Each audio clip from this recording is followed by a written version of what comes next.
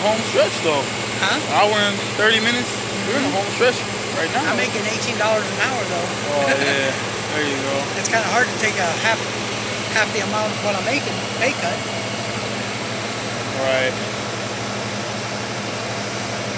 I'll let you know when I make that much. See, I've always, what all do you have to have to, to do what you're doing?